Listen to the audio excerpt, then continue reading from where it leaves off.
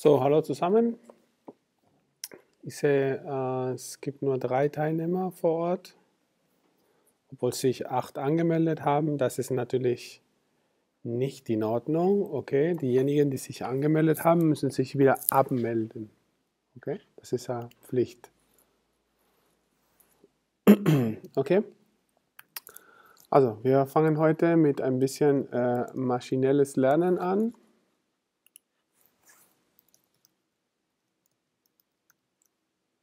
Okay? Wirklich nur die Einführung. Okay? Also nicht, äh, nicht erschrecken, aber einfach nur eine, eine ganz äh, dünne Einführung. Äh, zunächst mal brauche ich ein paar Zahlen, deshalb werde ich jetzt eine Liste erstellen. Die Liste wissen wir, es kommt mit eckigen Klammern. Und dann erstelle ich einfach die Liste. Okay?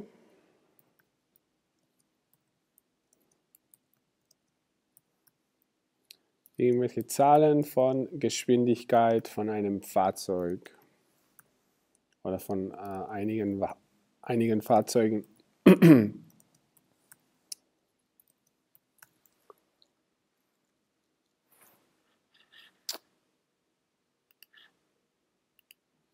Ähm, wo bin ich? 103, 87. Jedes Mal, wenn jemand sich anmeldet, hängt es 77, 85, schon wieder. Also es wäre nett, wenn ihr äh, euch abmeldet, wenn ihr nicht kommt.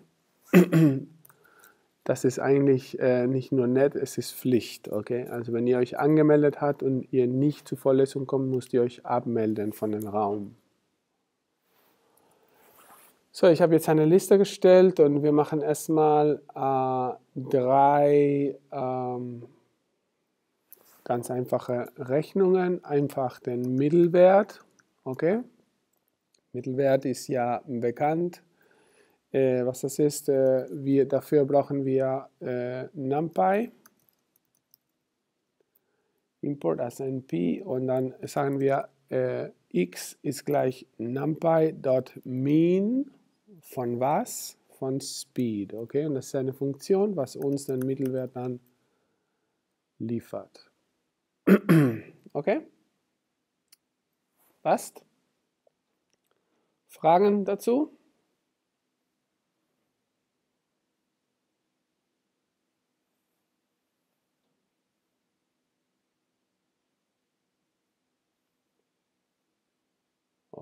Höre nichts. Dann gehen wir zu dem nächsten, nämlich dem Median. Okay, Median für diejenigen, die vielleicht in Statistik nicht so fit sind. Der Medianwert ist der Wert in der Mitte, nachdem Sie äh, alle Werte sortiert haben.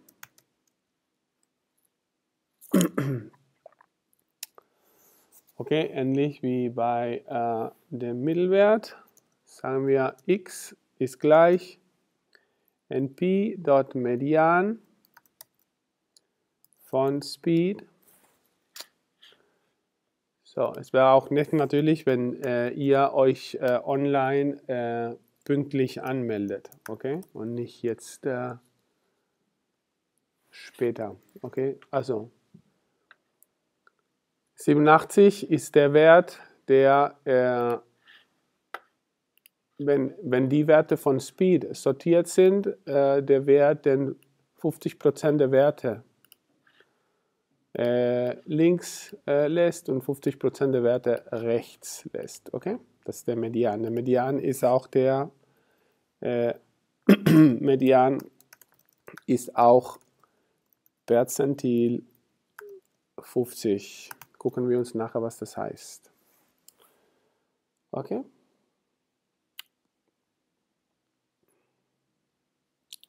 Den Modus oder Mode in Englisch. Okay, ich schreibe es in Englisch, weil es äh, die äh, eigentlich die Bezeichnung, die ihr dann findet, äh, äh, ist der Wert, der am häufigsten vorkommt.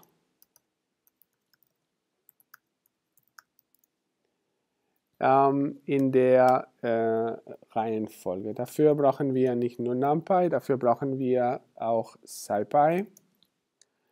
Ähm, und zwar Stats. Okay?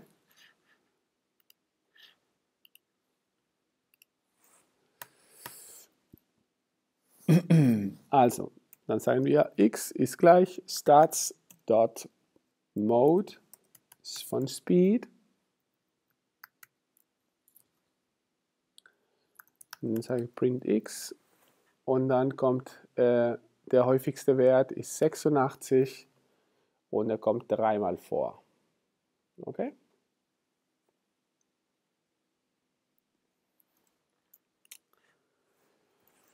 Machen wir weiter mit der Standardabweichung. Okay. Kann mir jemand sagen, was die Standardabweichung ist?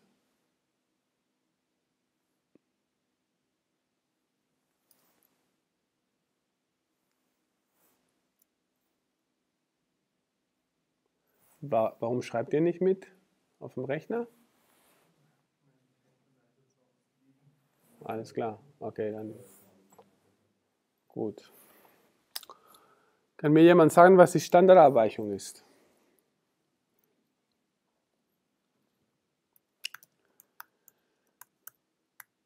Die Standardabweichung ist eine Zahl, die beschreibt, wie gestreut die Werte sind. Okay? eine niedrige Standardabweichung bedeutet,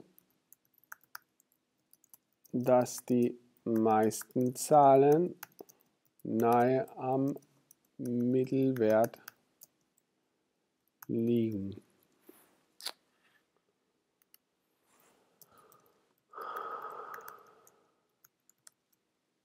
Okay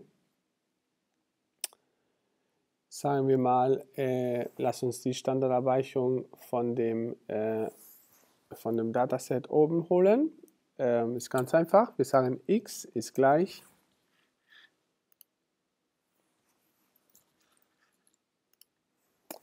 x ist gleich numpy dot std von speed.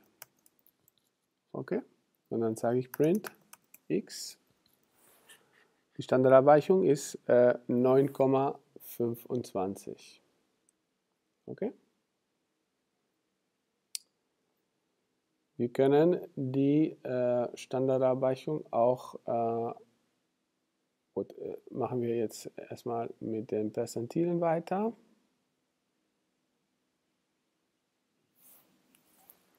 Okay, Fragen soweit? Die Formel der Standardabweichung. Äh, seht ihr im nächsten Semester in der Statistik, aber äh, Standardabweichung Abweichung ist gleich ähm, Square Root von äh, den Quadrat von x sub i minus äh, Mittelwert von x Äh, und das alles geteilt durch 2. Äh, Entschuldige, geteilt durch n minus 1.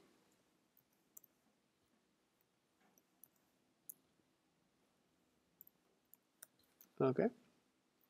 Das ist der erste Moment, ähm, erste Moment äh, nach dem äh, Mittelwert. So, was sind Perzentile? Kann mir jemand sagen, was Perzentile sind? Percentiles. Könnt ihr mir hören? Also es wäre echt äh, super, wenn ihr euch pünktlich anmeldet online, okay?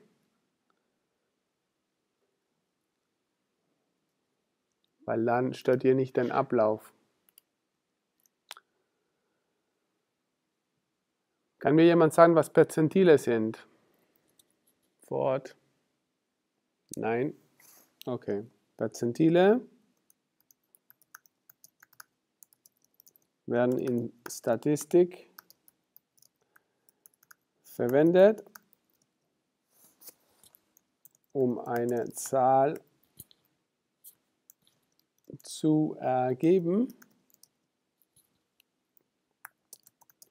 die den Wert beschreibt, unter dem ein bestimmter Prozentsatz der Werte kleiner ist. Okay? So, wenn wir sagen, ähm, x ist gleich NumPy Percentile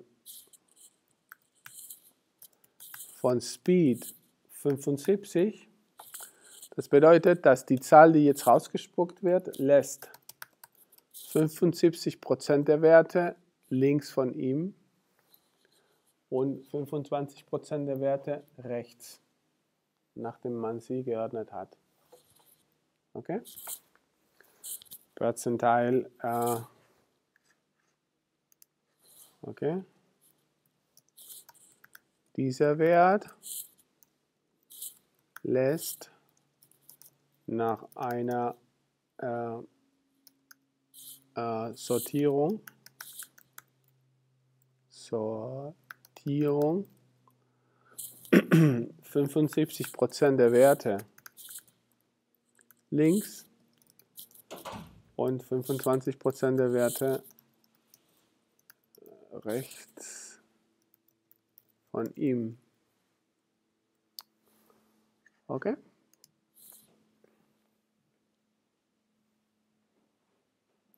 Ne, jetzt nicht. Das nächste Mal bitte pünktlich. Okay, ähm, also ein Perzentil 90 ist auch ganz einfach. Perzentil 90 NPy Percentile Speed 90 und Print X und so weiter. Okay, ist das gleich. Wenn wir jetzt sagen Percentile 50,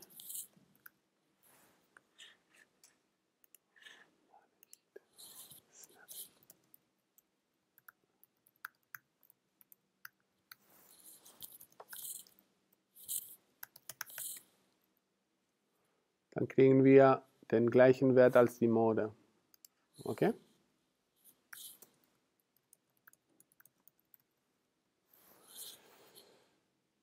Okay?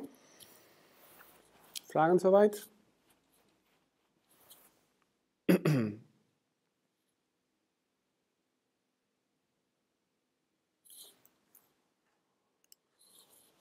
Okay, gut, dann reden wir über Datenverteilungen.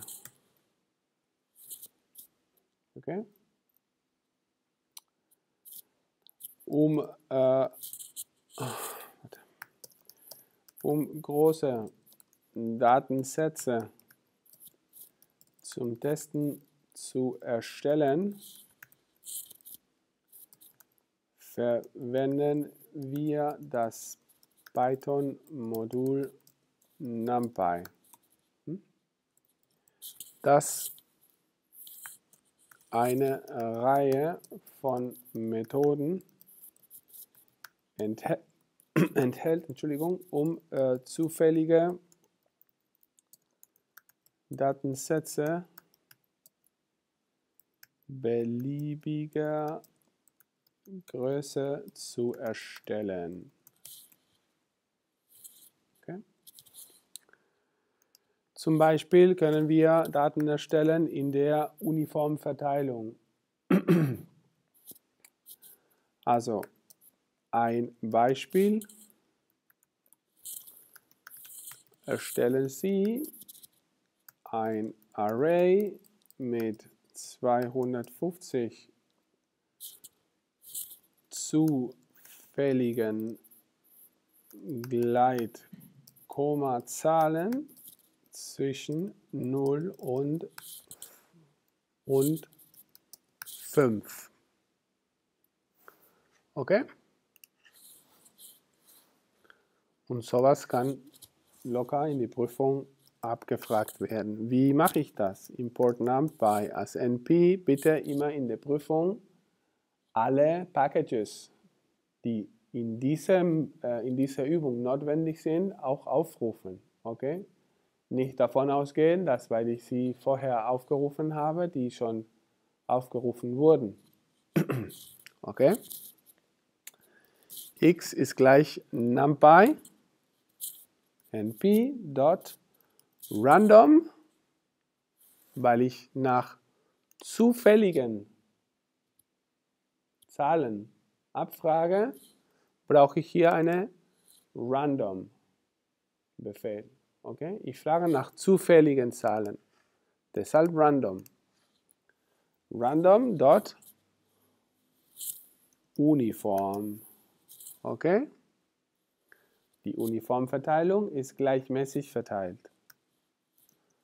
Zwischen 0 und 5 und ich brauche 250 Zahlen, Datensätze. Okay?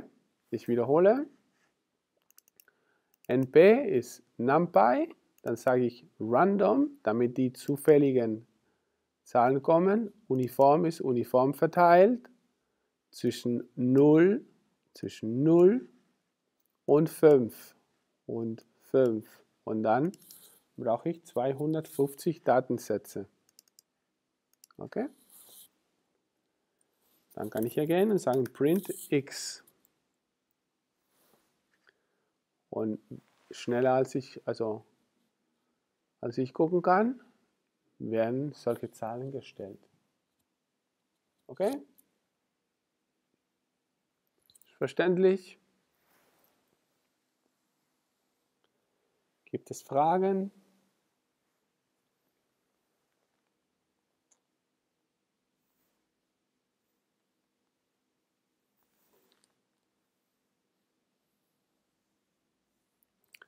Gibt es Fragen jemand online?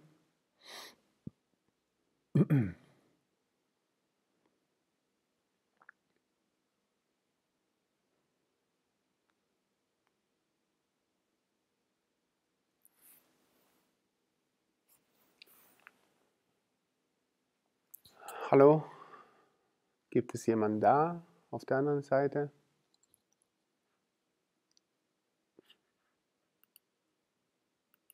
Ja.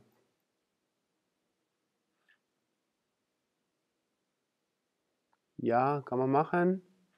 Mit weiteren Parametern hier, aber bitte um Verständnis. Also der Kollege fragt online, ob die Anzahl der Kommazahlen, ich wiederhole die Frage für die Leute, die hier vor Ort sind, ob die Anzahl der Kommafragen halt beschränkt werden kann. Ja, das kann man machen.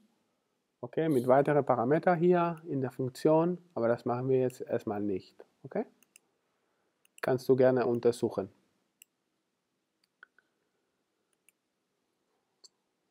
Weitere Fragen?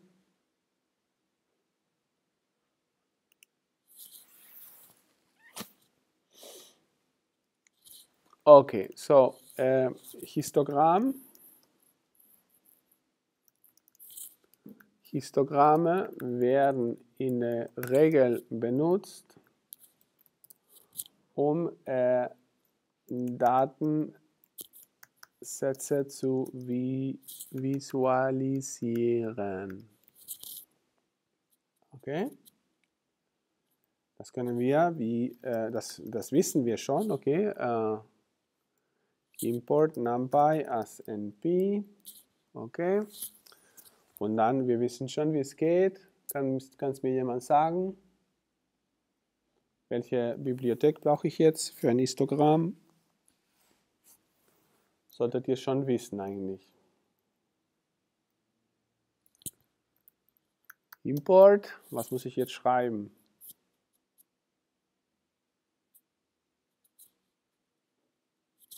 Jemand bitte? Okay, also ich habe das, ja. Was?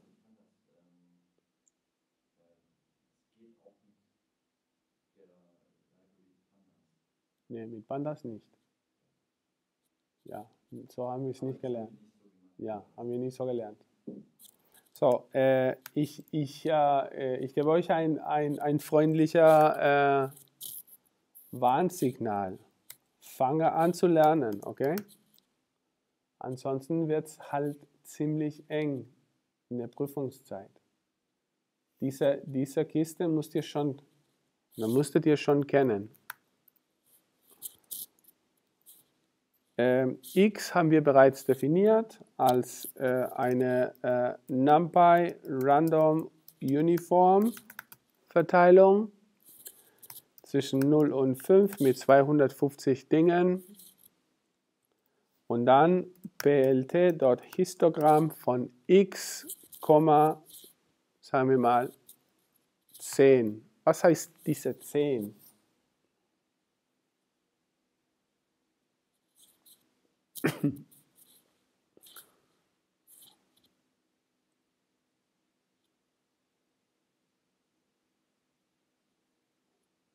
Was heißt diese 10?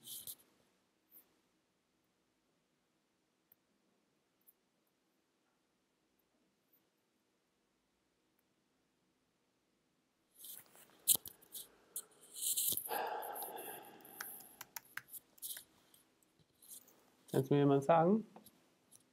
Das sind die Anzahl Balken, die wir in dem Histogramm haben. Warum kommt jetzt hier eine Grenze auf 25? Auf der y-Achse.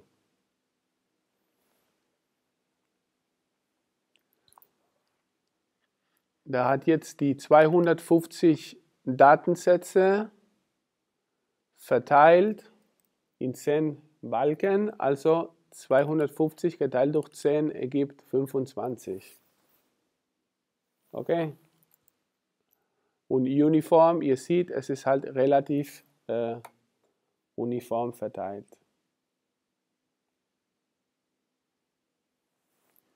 Allerdings, gut, gibt es Fragen hier jetzt?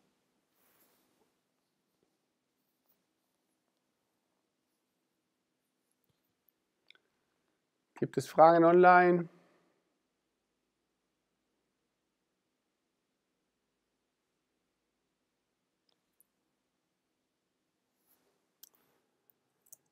So, wir können auch Big Data Verteilungen erzeugen. Und zwar ein Array mit 250 Werten wird nicht als sehr groß angesehen.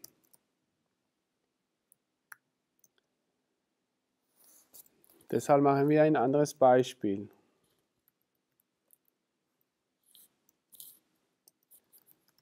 Stellen Sie ein Array mit 100.000 Zufallszahlen und zeigen Sie mit einem Histogramm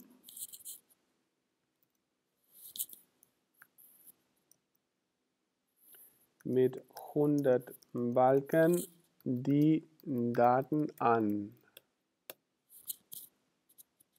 Okay? Wie machen wir das? Möchte das jemand mit mir machen?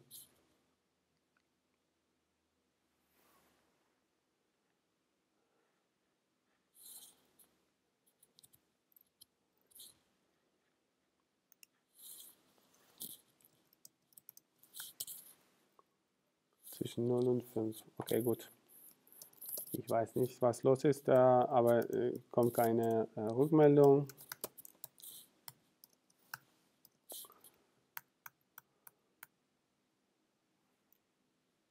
Wenn ihr nicht interagiert, dann gehe ich deutlich schneller und das ist nicht gut für euch.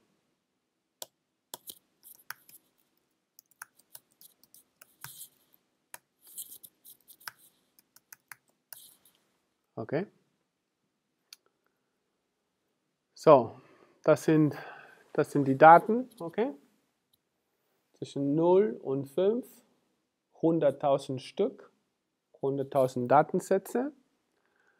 Danach äh, mache ich den Histogramm matplotlib.pyplot.hist von was? Von x in 100, äh, in 100 Balken verteilt und dann das plt.show, damit der Künstler, der Artist, äh,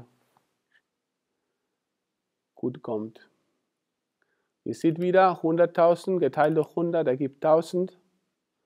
Und das ist halt die Marke, wo die Dinge verteilt werden. Gibt es Fragen?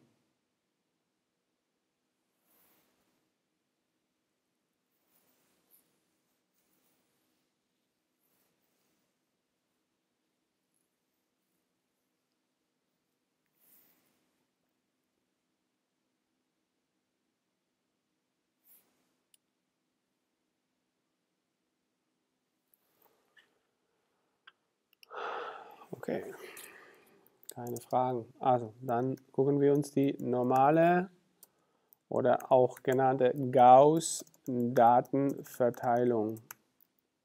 Hm?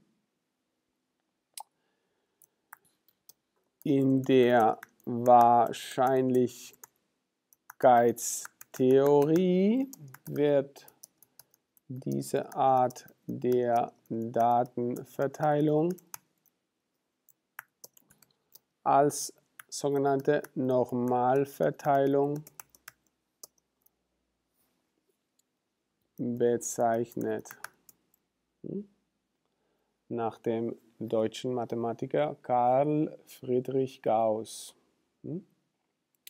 Hat die Formel entwickelt. Das ist eine Gauss-Glocke, wenn ihr wollt, okay? Äh, äh, NumPy brauchen wir Matplotlib brauchen wir.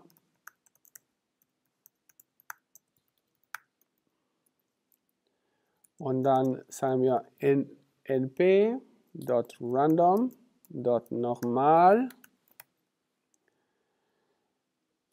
Mittelwert 5, Standardabweichung 1 und 1000 Datensätze, ah, äh, entschuldige, 100.000 Datensätze. Beispiel, Beispiel, stellen Sie.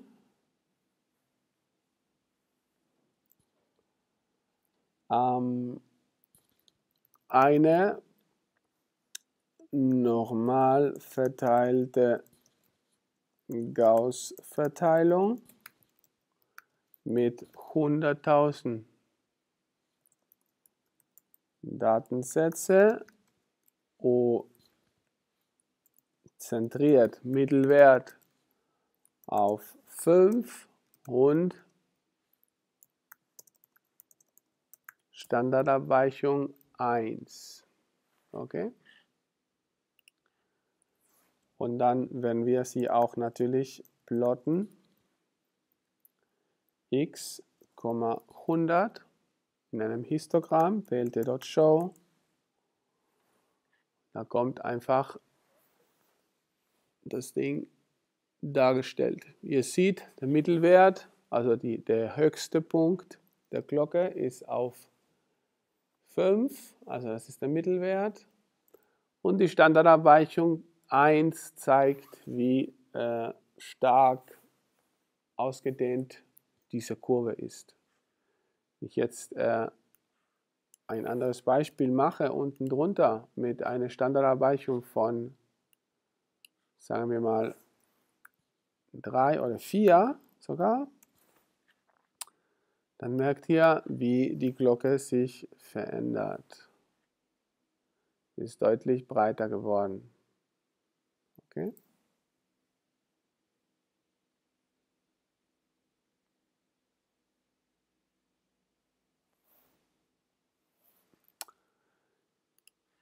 Wir können sogenannte Streudiagramme oder Scatterplots machen.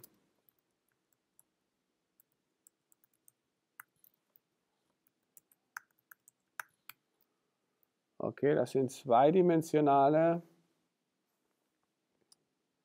Darstellungen. Wir haben jetzt Speed definiert, lass uns jetzt Gewicht auch noch definieren Glaube, es waren 13 Datensätze.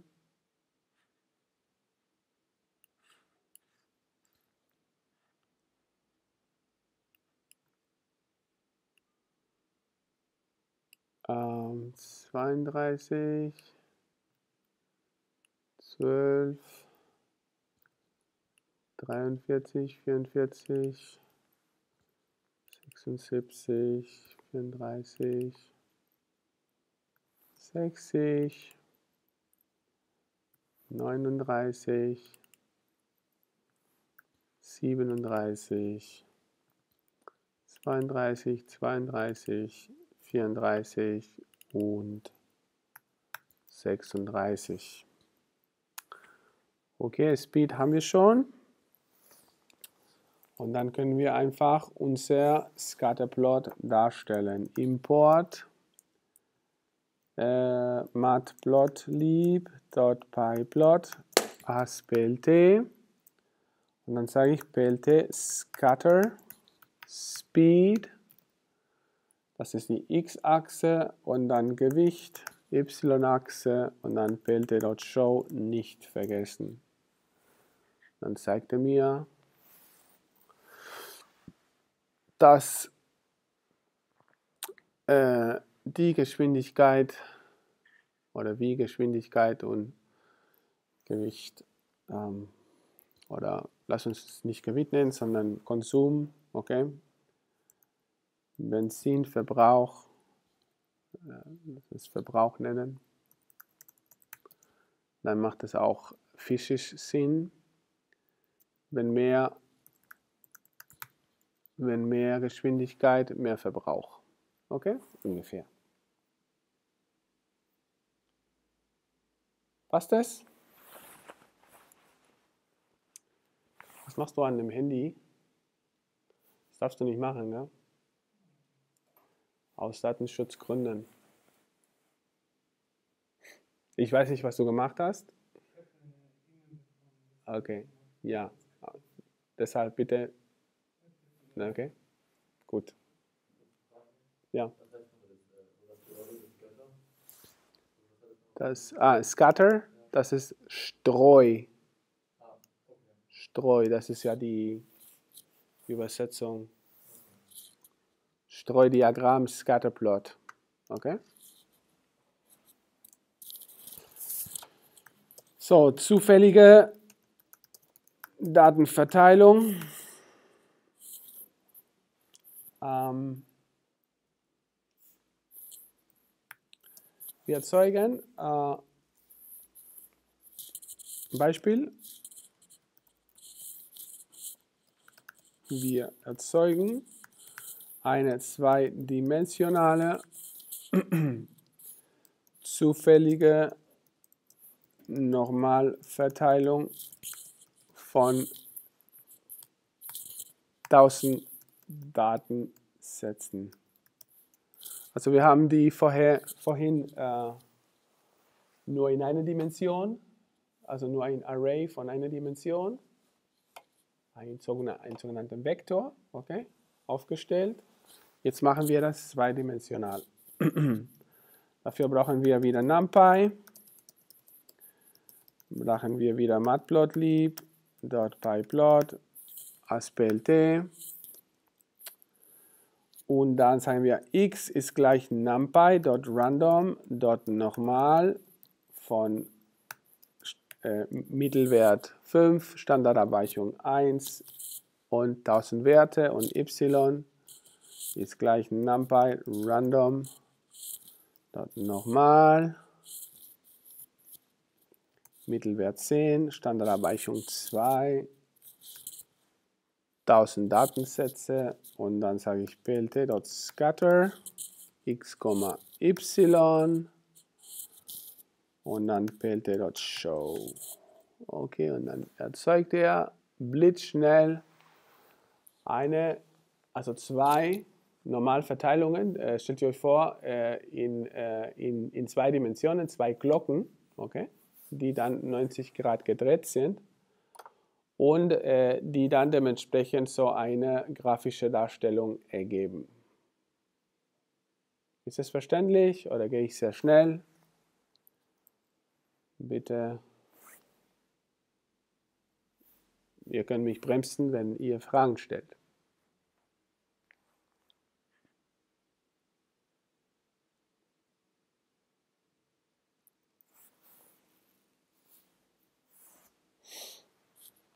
Okay. Kommt nichts. Dann ist also. Äh, so, wir gucken uns die lineare Regression an. Okay. Der Begriff Regression wird verwendet, wenn wir versuchen, die Beziehung zwischen Variablen zu finden. Okay? Im maschinelles Lernen äh, und statistische Modellierung wird diese Beziehung verwendet, um das Ergebnis zukünftiger Ereignisse vorherzusagen. Okay. Die einfachste ist die lineare Regression. Verwendet die Beziehung zwischen den Datenpunkten, um eine gerade Linie durch alle zu ziehen.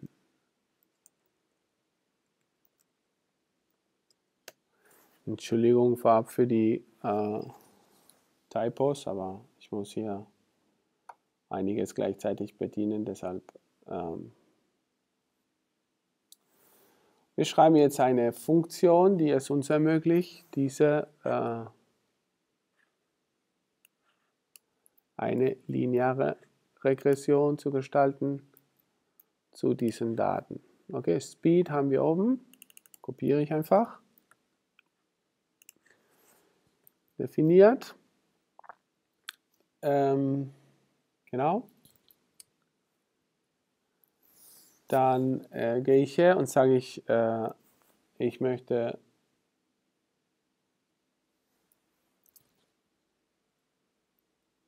ich brauche den, warte, ich brauche äh, Matplotlib.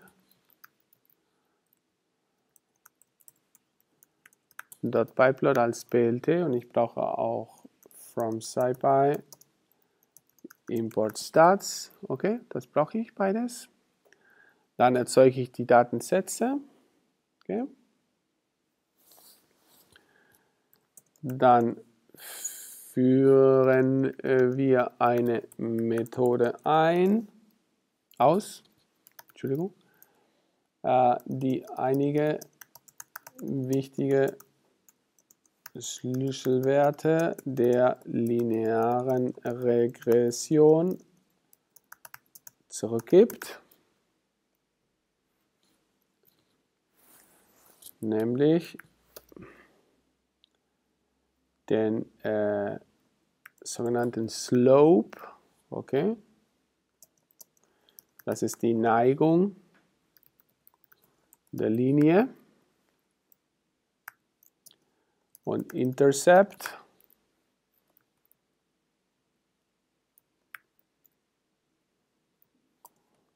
das ist der Punkt, an dem die Linie mit der y-Achse schneidet.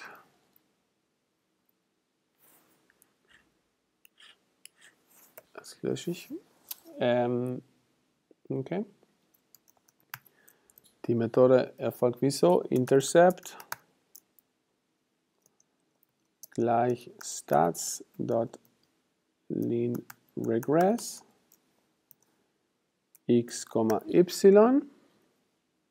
Okay. Dann erstellen wir eine Funktion,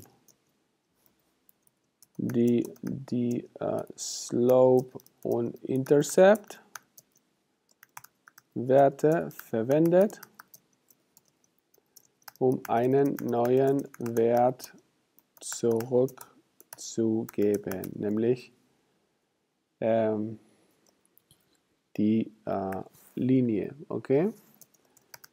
Diese, äh, dieser neue Wert stellt dar, wo auf der y-Achse der entsprechende x-Wert platziert wird.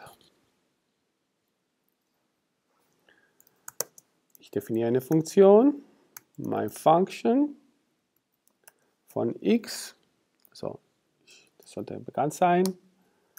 Dann schreibe ich return, okay, dann slope mal x plus intercept. Das ist eine Linie, okay, das ist die Gleichung für eine Linie. Und dann führen wir jeden Wert des x-Arrays durch die Funktion. Dies äh, führt zu einem neuen Array mit neuen Werten für die y Achse. My Model gleich list map my function, x. Dann muss ich einfach nur plotten und hoffentlich klappt alles einwandfrei. Too many values. Ah, hier muss ich mehr Werte reintun. RP, die werde ich jetzt aber nicht äh, erklären. Okay. Ich muss Speed und Verbrauch nutzen, ansonsten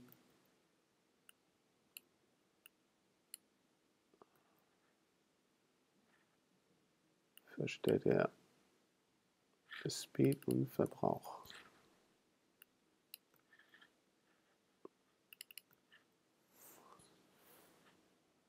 Warum stellt er nicht die äh, Funktion dar? Wählte Scatter. Ah ja, ich muss noch die Linie plotten. Ich habe die Linie nicht geplottet. Wählte Plot. Wählte Dot Plot uh, speed, comma, my model. Dann plottet er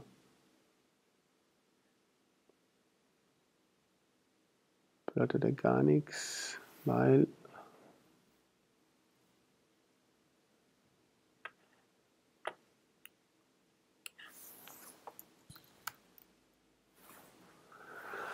Jetzt geht's.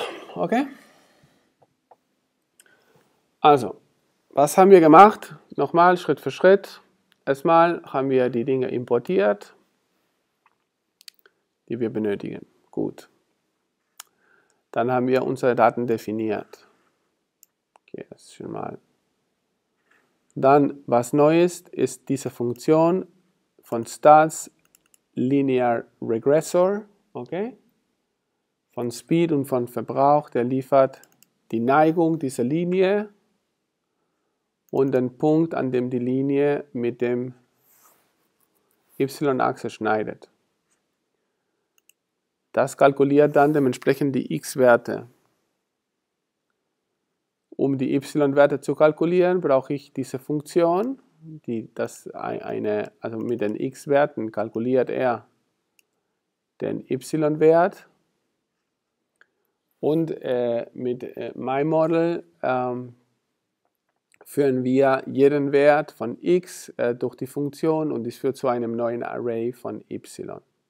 Okay, und dann plotte ich einfach alles. Ihr seht, die Funktion, diese Linie geht nach oben.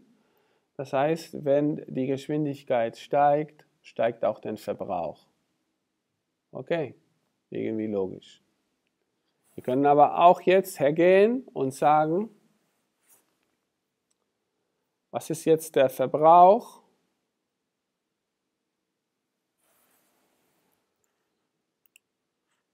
Wenn die Geschwindigkeit 95 ist. Okay? Dann sage ich auch äh, my function von 95 sollte mir den Verbrauch geben. Okay, es ist als ob ich jetzt bitte gucken, eine, gerade eine, eine vertikale Linie von dem Wert 95 machen würde okay, bis ich die Linie schneide und dann gehe ich links auf den Wert. Okay. Nochmal, diejenigen, die äh, online sind, können es nicht sehen, aber äh, es ist, als ob ich hier eine vertikale Linie beim 95 backe, okay, hier eine vertikale Linie und dann von, wenn ich die, äh, die, die Regressionslinie schneide, dann gehe ich dann links. Und dann schneide ich auf 3 und äh, 40,8. Okay? Und deshalb hilft uns die lineare Regression, hilft uns, unbekannte Werte vorherzusehen. Okay? Ist verständlich.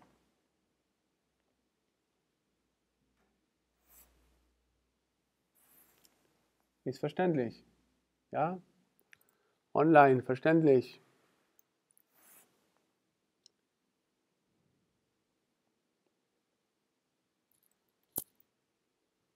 Ich höre gar nichts. Äh, das passt oder passt nicht. Wenn jemand Fragen hat, bitte jetzt.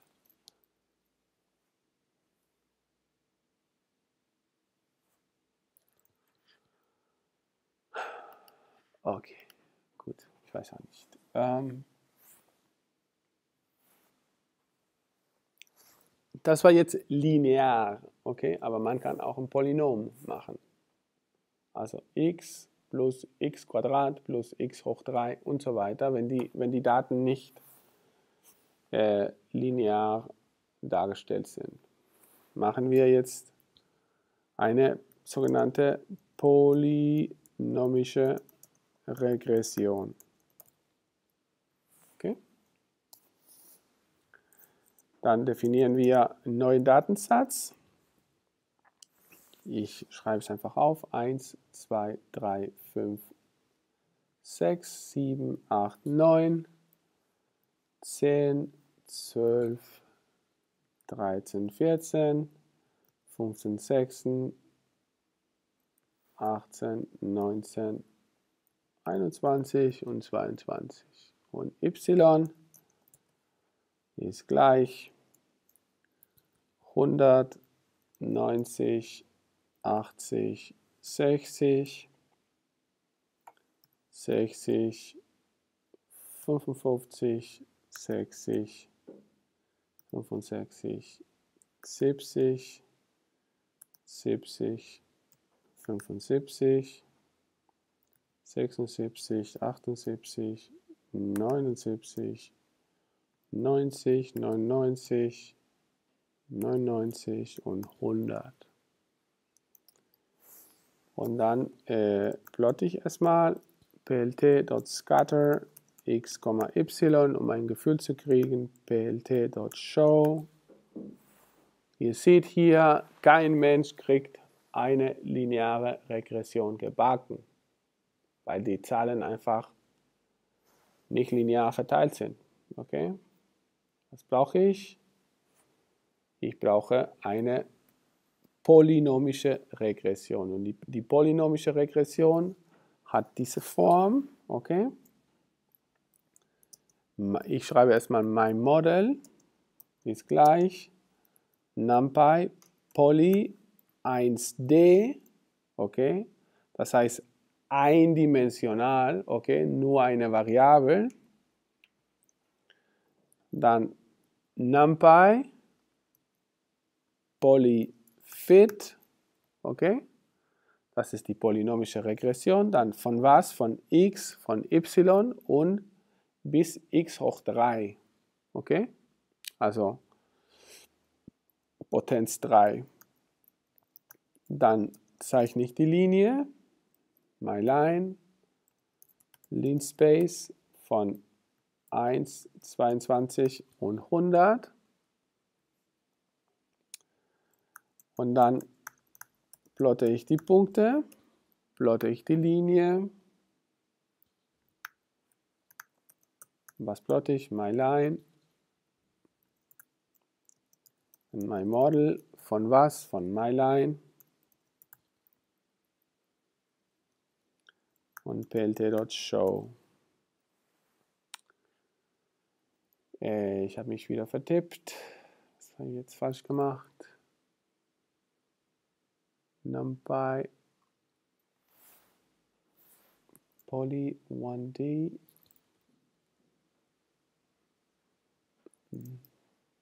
NumPy Polyfit XY3. Warum ist es falsch?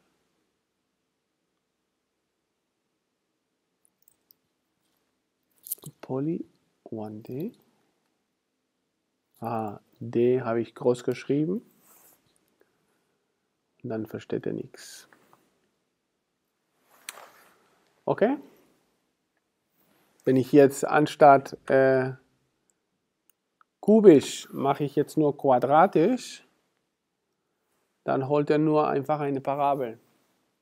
Und dann kann er den Fitting nicht so gut machen. Oder wenn ich sage jetzt linear, Okay, nur ein, jetzt habe ich jetzt die lineare Regression.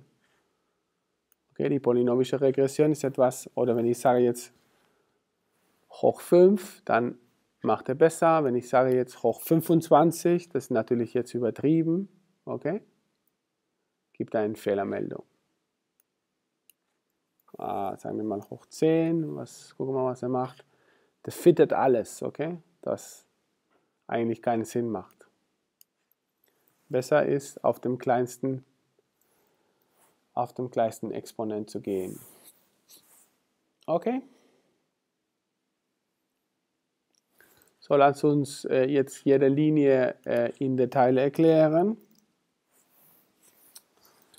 Hier NumPy hat eine Methode, mit der wir ein äh, Polynom Modell erstellen können.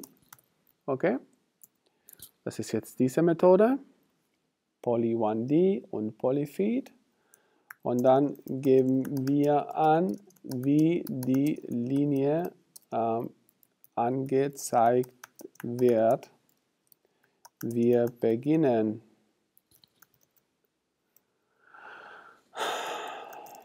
bei Position 1 und enden bei Position 22. Okay, und der Rest ist äh, eigentlich selbsterklärend. Okay?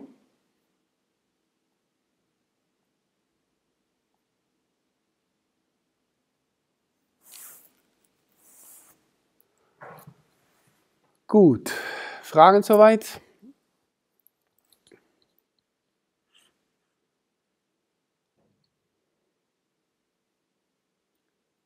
Dann mache ich hier Stopp.